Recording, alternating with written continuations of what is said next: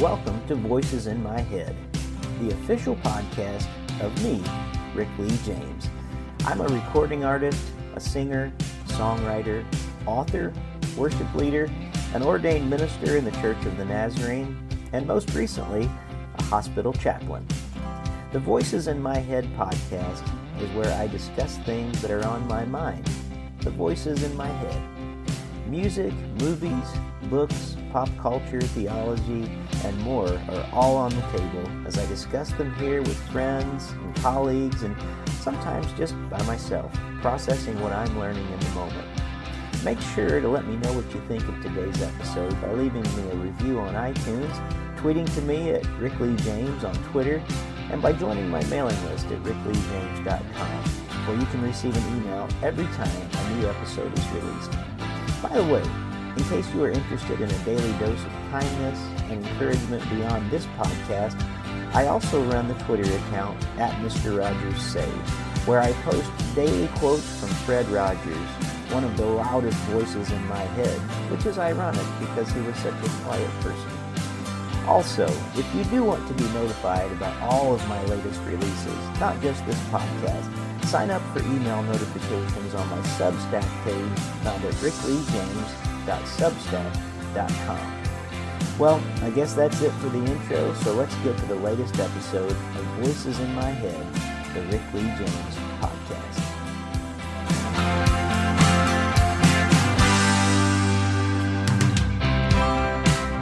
Welcome back to Voices in My Head. As always, I'm your host, Rick Lee James, and I'm so glad for all of you who are listening today. We have a wonderful episode ahead of us, I know, today. WorshipLeaderResearch.com is the home for articles and news related to a collaborative study focused on the behaviors of the primary contributors to contemporary worship and the attitudes and behaviors of local worship leaders towards them. By exploring the relationships between quantitative and qualitative data, they hope to better understand the relationship between the worship music industry and local worship practitioners. Their study aims to equip practitioners with a deep understanding of the forces that impact their corporate worship song selections. Their first article at worshipleaderresearch.com caused quite a stir online, revealing that almost 100% of the top 25 worship songs on CCLI are associated with just a handful of megachurches.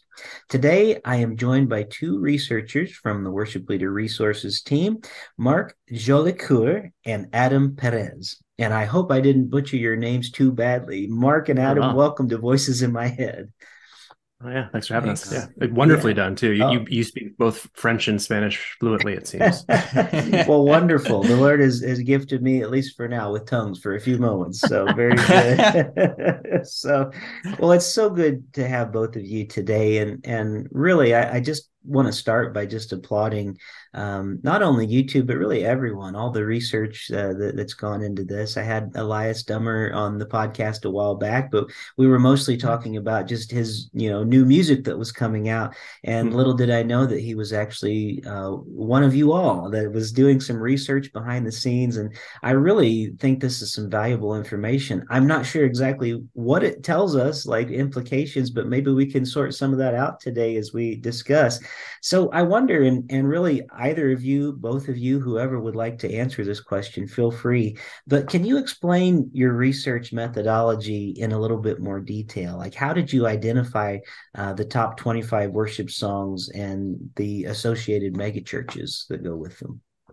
Yeah, thanks. I'll take that one. Um, so, uh, it's kind of we're, we're trying to do our best here to to use all the available data um, to figure out kind of what songs have appeared uh, on the top 25 over, over, the decade of 2010 to 2020.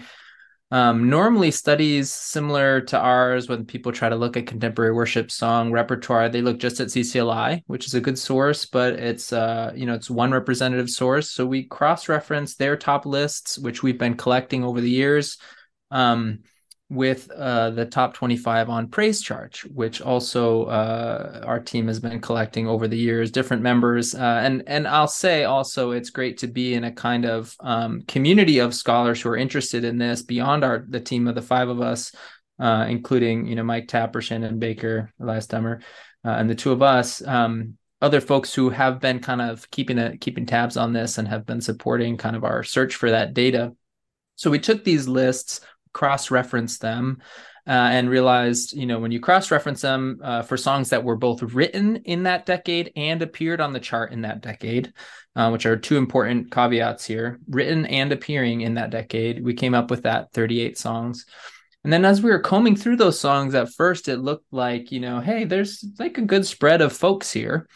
Um, but as you start to look into kind of who the songwriters are and where they're affiliated, and then how the songwriters on any one song uh, are collaborating with songwriters uh, from other places, that web starts to become a little bit sort of clearer. So we kind of had three layers of um, of connections here. So we have songwriters who are from those mega churches. We have songwriters that have collaborated with uh, other writers from those mega churches. And then we have uh, songs that were platformed, uh, which is the word I've been using. I'm not sure if the whole team uses this word, but but platformed by these mega churches. So songs that uh, rose to prominence after they were featured at events or services or on albums um, by those mega churches. So, um, and and we're talked in our article about the performance history. So when you look at when the song is actually performed, covered, these kinds of things, um, uh, you, you see this sort of web emerging that all kind of points back to a few things. And and sometimes I do feel like that meme of the guy with the red yarn you know, from uh, whatever TV show that is, and he's like pointing at the board and like, look at all the red yarn. Uh, but uh, but you know, it's don't think of it as nefarious. We're just trying to trying to name the connections that exist and kind of name the network that um, emerges when you start to dig just below the surface of what songs are produced by those main churches. Well, yeah. that's that's a, a great explanation, and and you know, it is fascinating because I think um, and maybe there's some correlation to this, but I know that in the research, something happened between 2010 and 2014, where the kind of the life of the song started changing in, in your research, and, mm. and something happened there. And I was thinking too, just discussing it with some friends this week about how even the music we listen to, even just not worship music, uh, due to streaming and things, it used to be that at one time when we all listened to the radio, everybody kind of had common songs together.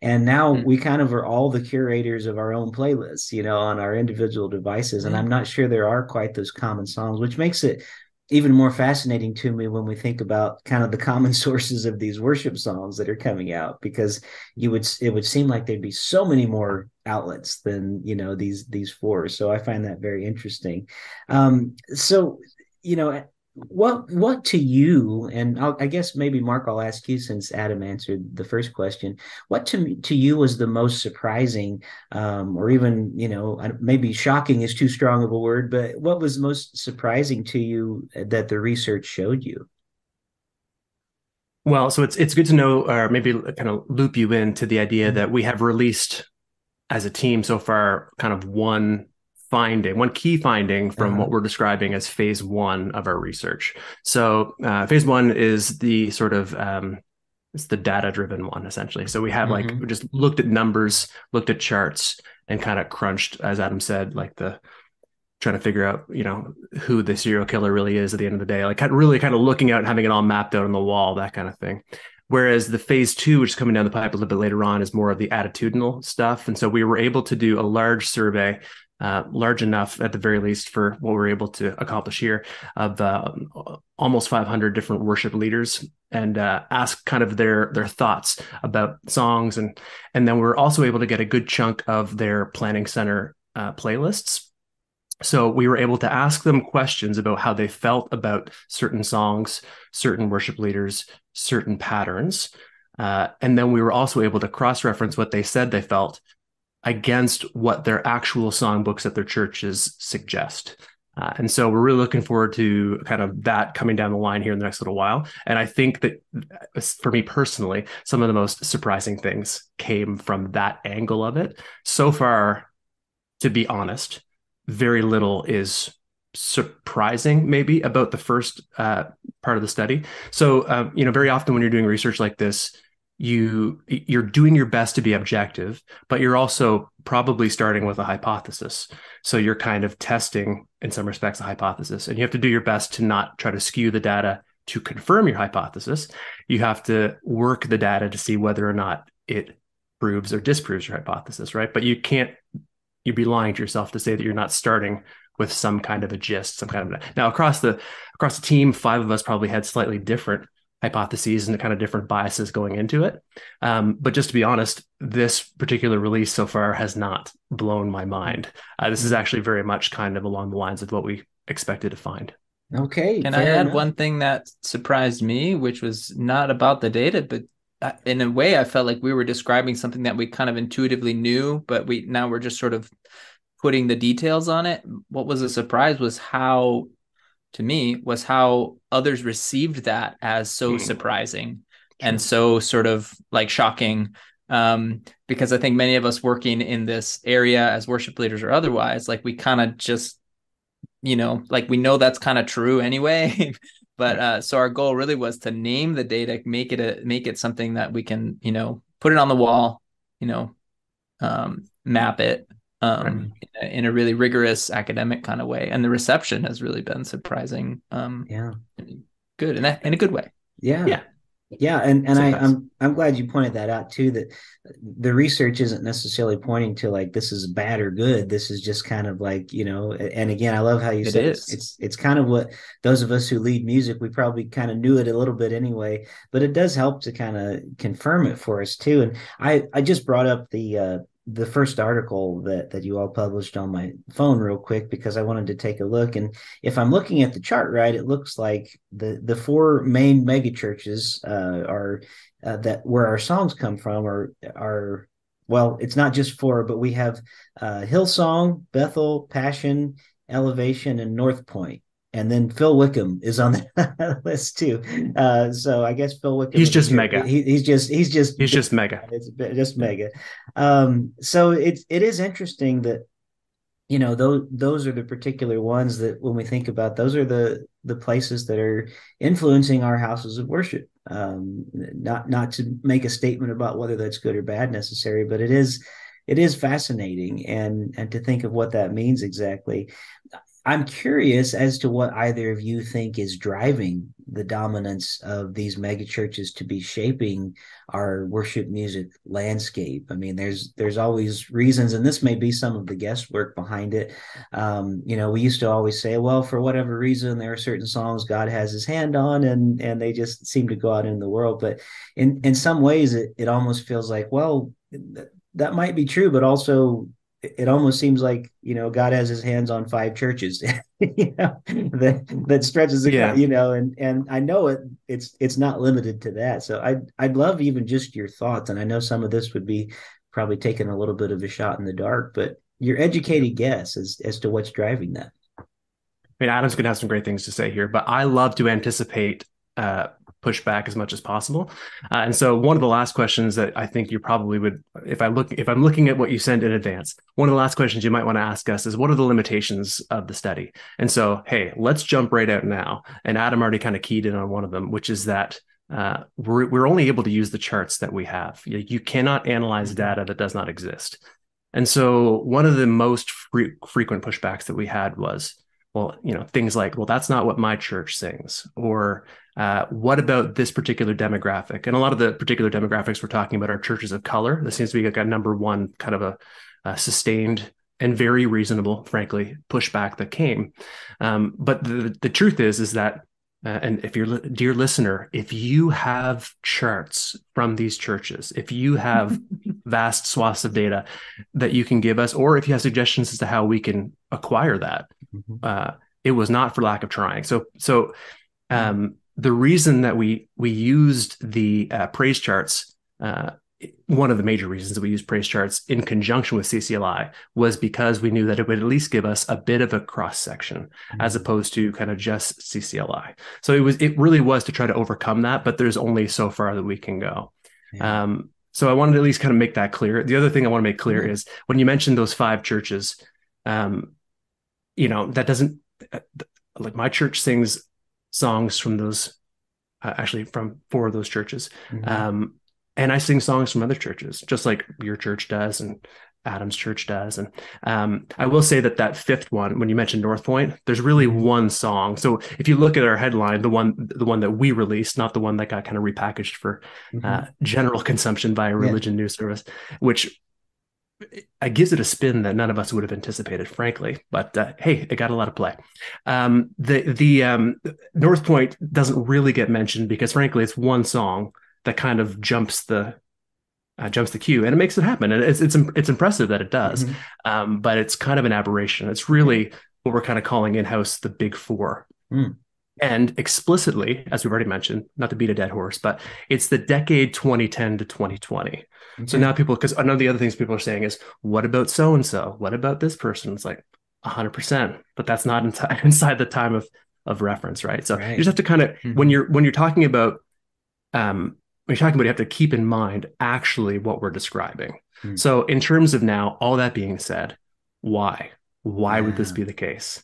And uh, as researchers, we should be really slow to mm. say why uh, and do our very best to say to say what. Uh, we can try to get at how a little bit, um, but the why is really well i guess the why is for podcasts and so it's okay to speculate it's okay to speculate right. a little bit but we we have to be clear that some of the whys that maybe adam and i might kind of spit out here in conversation are not always going to be able to be corroborated by the evidence that we actually have on hand so some mm-hmm. of this mm-hmm. is an interpretation that we don't sure. really have yeah. we can't back up so adam all that being said why why is it happening yeah. Well, I think the the one thing I've pointed some folks to is just the general acknowledgement that like we that our work exists in an industry and the industry uh an industry works through industrial mechanisms. And so, you know, it's no it's no mystery you mentioned North Point. It's no mystery uh, to me at least that like the other group on the list is also a megachurch. I mean, mm. mega churches already have large constituencies that will, you know, if they hear it on Sunday morning there, they're more likely to listen to it later. You know, like they have platforms and they have attention. And so it, you know, when when we're working on popularity lists, when people are already looking at these churches, going to their conferences, um, mm. streaming their, you know, services um, on their own, these churches are also taking their bands on tour. Like that builds a platform for popularizing songs in a very sort of basic simple kind of um, industrial way. So mm-hmm. um yeah so it, it's not in that way surprising to me that that uh, like you know a big church with a big following would have a lot of people listening or you know paying attention to their songs. Mm-hmm. and i want to clarify one other piece about the data i should have mentioned earlier. You know we're just looking at church facing charts so the resource type charts and not the listener charts. And then you're mentioning like the radio and stuff like we are gonna we are gonna touch in on that as best we can in the in the attitudinal study in phase two. But you know we're not looking at billboard charts we're not looking at spotify charts which i would call listener facing charts. Of course there's overlap in those things, but um, charts that document spins versus charts that document use or at least access for use in the case of praise charts, people mm-hmm. buying buying the charts so that they can lead them, lead mm-hmm. from them. Um, and CCLI, you know, this lagging indicator of what's been used. Mm-hmm. Um, so yeah, so on these church facing kind of charts, yeah, it makes sense. They have lots of attention. The churches already have lots of attention and platforms. Like yeah. that's how that's how markets work in a very fun. It's a good clar. That's a good mm-hmm. clarifier though, because it it's interesting that as you're saying, we're looking at what's happening on the church facing charts. So that you're a big church would not necessarily then mean because we're not talking about Joe and Sally. We're talking about Joe and Sally worship leader at other churches, right? That's mm-hmm. how CCLI reporting happens. Yeah. And so there is something about the fact that these aren't merely the constituents of the churches, mm-hmm. it's other churches and other congregants who yeah. are somehow kind of gravitationally being drawn to the content that are coming out of these larger churches. Right. Yeah. And limitations yeah. on the data. CCLI, we don't know from CCLI or praise charts if if and how well we know praise charts does some weighting of the data. They mentioned that in their blog describing how they do their chart, but on the CCLI chart, like honestly, I have no idea if say you know if you're at a tier at a higher tier of yes. membership and paying for like do do the songs you choose end up getting sort of more weight in the in the calculation of how top 25 I, and I, and those algorithms, as far as I know, are not publicly available and not shared their industry secrets you know mm-hmm. um, and i know that from colleagues like nelson cowan who's doing work on ccli and interviewing folks there and anyway yeah so mm-hmm. um so there's some some ambiguity about what what the stuff means yeah. but it, you know, it would have been interesting too. I should have reached out to to George Ross, the president of CCLI, mm-hmm. again, because uh, I had him on here a while back to kind of dispel some of the myths and things and, and make some corrections. Yeah. And it would be interesting to kind of have a dialogue with him as well about these mm-hmm. things because you're asking. If you really facilitate that, Rick, I'd love it. Maybe Let's one of it. these days we can. That'd be a lot of fun. Yeah. He, he's a great guy and really, really fun, easy to talk to, yeah. and really has a heart yeah. for churches. So uh, it, was, exactly. it was a good conversation. Exactly. Uh, but but it is, you know, part partly you're right. What we do on podcasts is we are kind of uh, weighing a little bit some of these implications and what they mean. And and one thing that I had been thinking about was, you know, Gordon Fee once said, "Show me a church's songs, and I'll show you their theology." And uh, and I it was um, uh, uh, Derwin Gray this week. I heard him say, "The gospel you preach is the church you get," and I think it's very interesting mm-hmm. that you know I'm interested in in what this means as far as what kind of uh, disciples we're making. You know, what does it mean that mm-hmm. that churches are responding to these songs? or how are not only um, you know how, how are not only churches using these songs in their worship but what are these songs doing in the life of people because uh, mm-hmm. uh, you know songs are kind of like sermons that we leave singing you know yeah.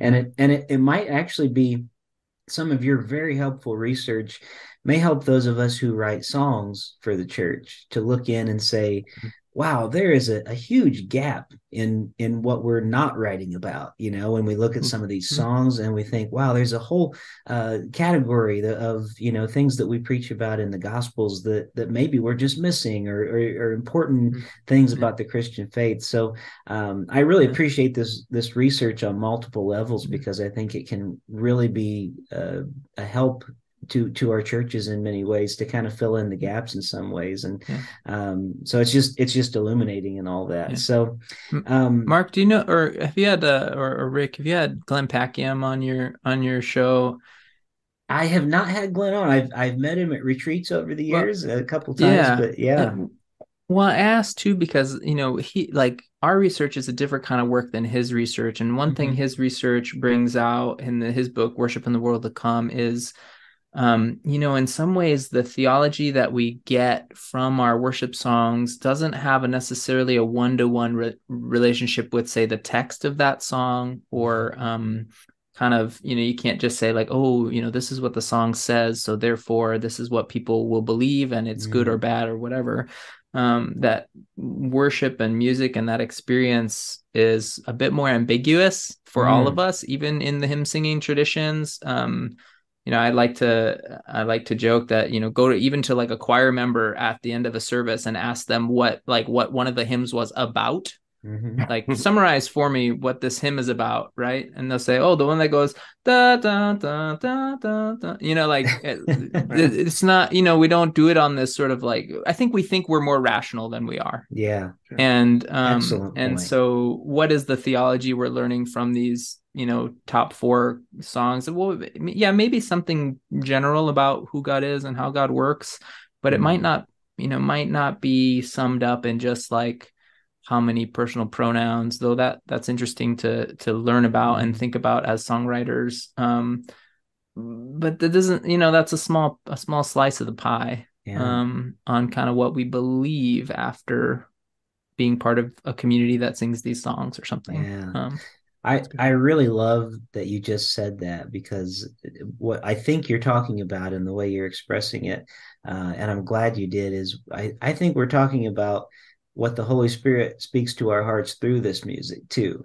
you know, in some mm-hmm. ways. And I'll I'll fall back on my my other presence on the internet as I I run this Mister Rogers Twitter account where I post quotes from Fred Rogers every day, and it just is has grown like you know hugely. You know, people there's like ninety one thousand followers on it. It's crazy. Uh, ninety nine thousand and one. I'm going to follow or, that right something now. like that. But but what's interesting about Fred Rogers to me is there was something about him that he very intentionally lived his life a certain way, um, yeah. to, to the point that he from all accounts and people I've talked to, he was more Mr. Rogers off the screen than he was on the screen. mm. And one thing that people would tell him, uh, and I've read these stories about, you know, a person was thinking of ending their life and they turned on the TV in the hotel room wow. and Mr. Rogers was there and they had a chance to talk to him later on and say you kept me from like doing something drastic that night and Fred Rogers would say to those people when those encounters would happen he wouldn't say well I'm glad I was there you know or something he would say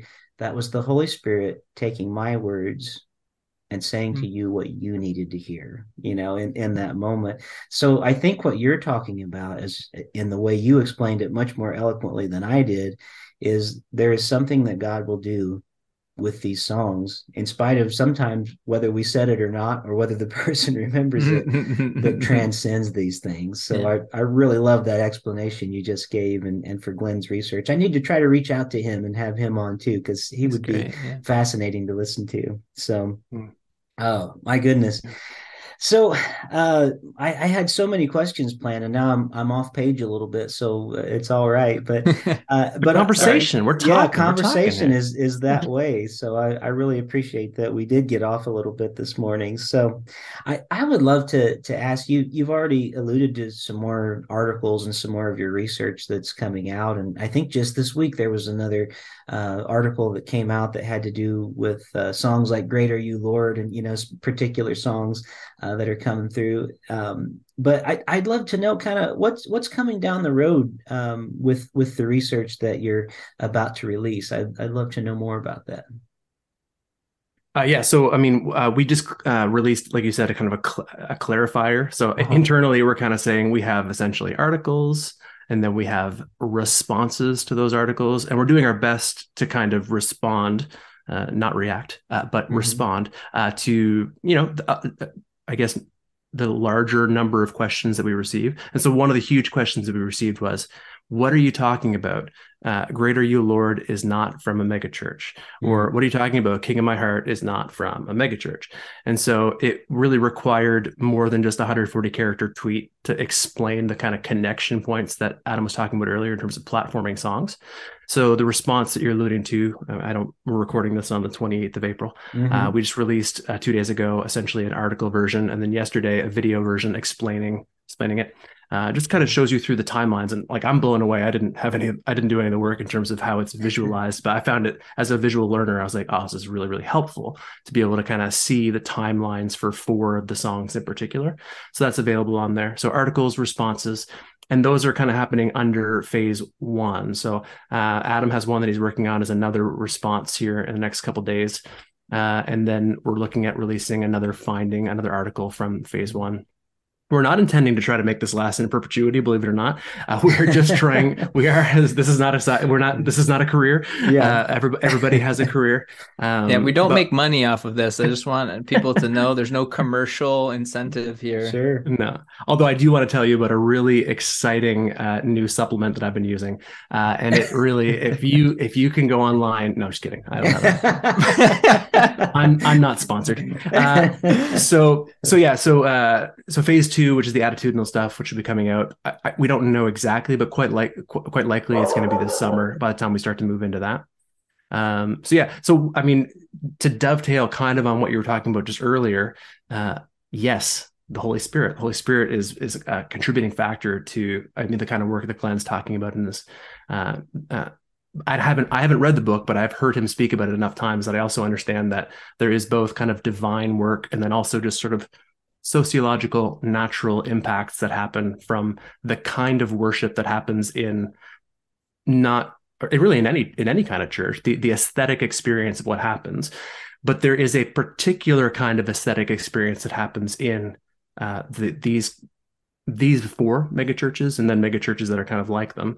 Um, like what what do you feel like when you attend one of these worship services?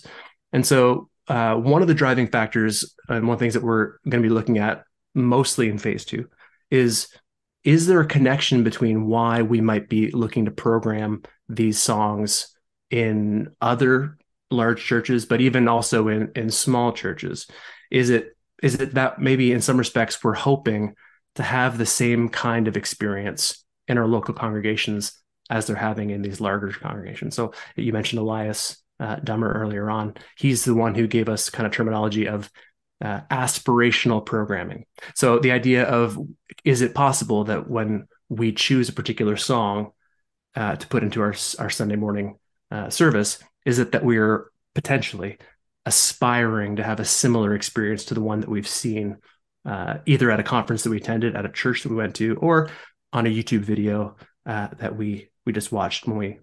So the, the way that those songs become fused with the performance history, and therefore with the aesthetic, and therefore with the emotional reactions and experiences. So that's something that we're really uh, looking forward to being able to tease out ahead. Yeah. And I'll, I'll say too, you know, uh, we're not we're not done with part one. We have at least you know some of these uh, follow up posts, but also you know at least one more sort of main article about uh, industry mechanisms that help um, songs become popular to get to the top twenty five. Some some findings from our initial that initial data data crunch. Um, and Shannon Baker on our team has done a really amazing job with um, working through the data for us and helping get it in a way that we can all look at and talk about because you can imagine how a bunch of these numbers and letters um, don't mean much unless they're organized and so she's done an amazing job with those and and uh, like the timelines you mentioned um, on the website to look great. Um, so yeah so uh, this is yeah more stuff in the similar vein and then also shifting gears to the kind of the why um, and what people feel which is going to be just so fascinating. Already is so fascinating. Yeah.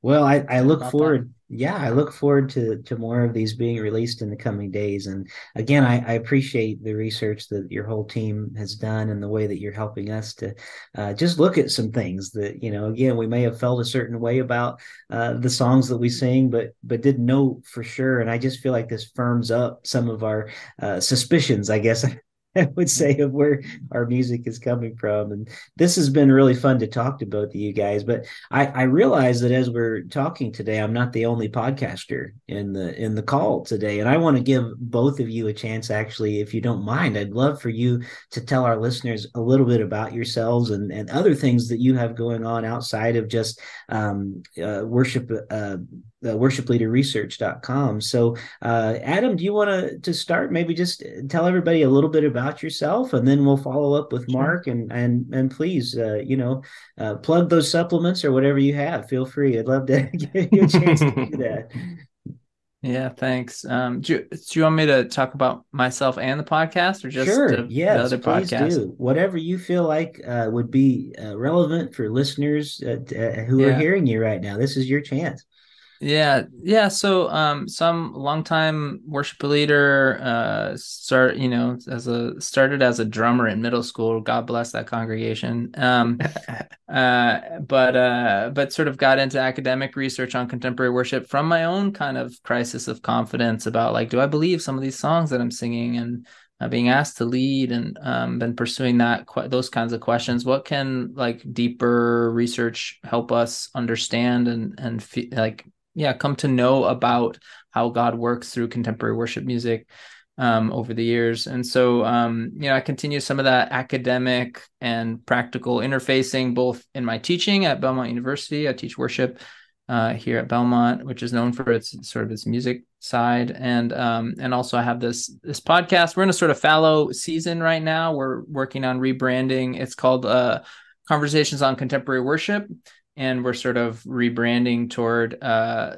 what I'm calling the Worship Nerds podcast, oh. and uh, and it'll be the same kind of the same kind of shtick, which is I bring academics who are studying contemporary worship and try to uh, have a conversation that connects their academic research with you know something that worship leaders can learn from and appreciate. So it doesn't just get stuck in stuffy books and libraries but that um, that kind of work can enrich uh, worship leader conversation and, and that we don't have to be afraid of uh, of academic research on contemporary worship. Like that it might tell us something about you know what's going on that's somehow like you know nefarious. But um, but that will learn and grow and and these academics provide important um, helpful lenses for thinking about that. So i think we've got like 12 or 13 episodes up now.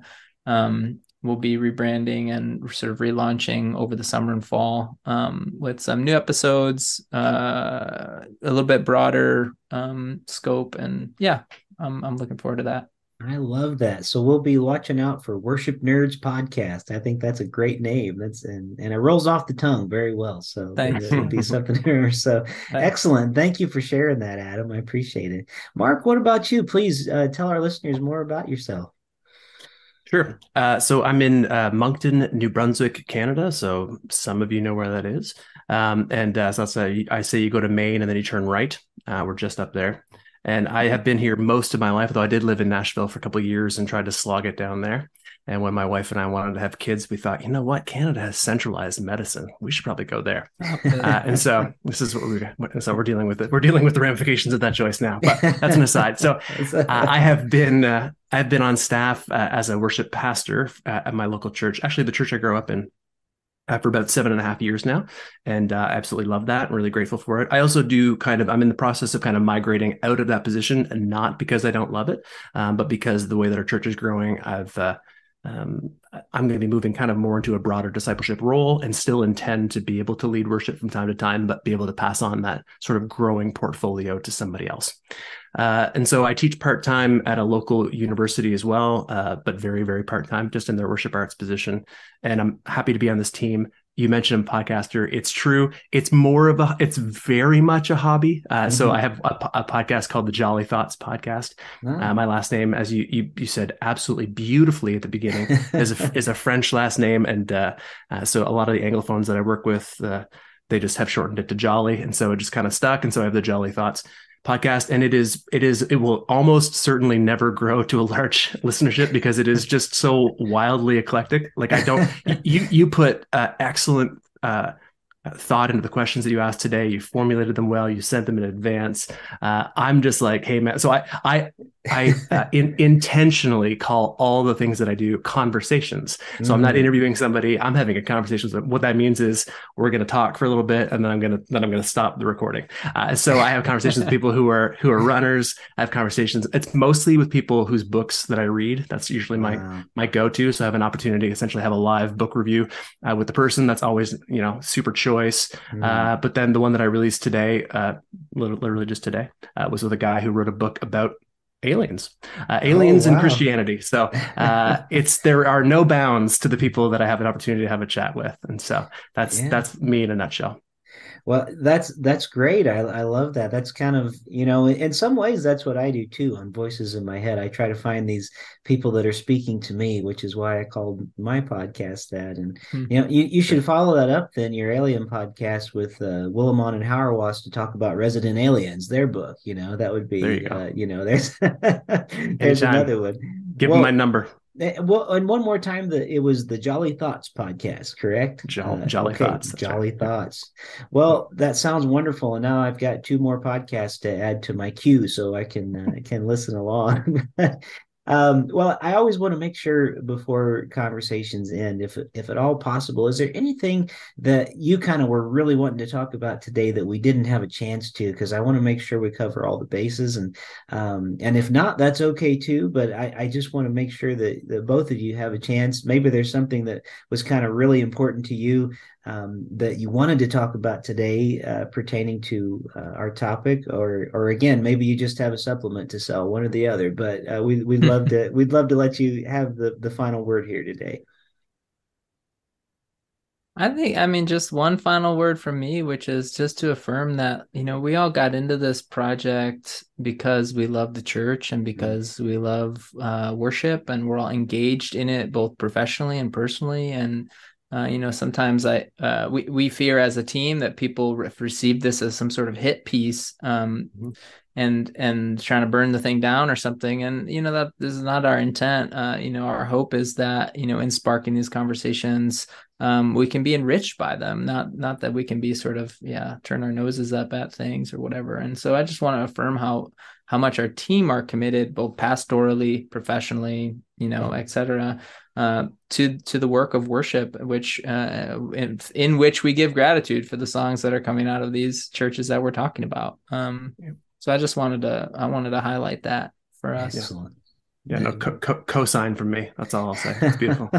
great. That was a great a great way for us actually to to close our conversation down today. So once again, I, I just want to thank both of you for your time today, and uh, and please extend my thanks to everybody on your team as you visit with them uh, from time to time because uh, I really feel like you're doing a, a a work for the church that is going to help us greatly in the days ahead. I'm not sure even anyone, everybody on your team quite knows yet what the implications are for down the road, but I'm sure that we're going to be able to learn from this and grow from it. And hopefully, God will just continue to, to use research like this to help us in our planning. So, Marc and Adam, I just want to say once again, thank you for being some of the voices in my head this week. Thank you for joining me here this week on Voices in My Head. Music on the intro and outro of this show is from my single, As I Walk These Halls, which can be streamed on any streaming platform, including Spotify. I hope you'll visit me on my website at rickleejames.com where you can find out more about me, get my music on vinyl and CD, schedule me for a concert, a speaking engagement, a podcast, or even a book signing in your neighborhood. Also, it would mean a great deal to me if you could write a review of this podcast on iTunes or wherever you listen to podcasts. The more positive reviews we receive, the more visible this podcast will be. And now, the benediction. May the God of hope fill you with all joy and peace in believing, so that by the power of the Holy Spirit you may abound in hope.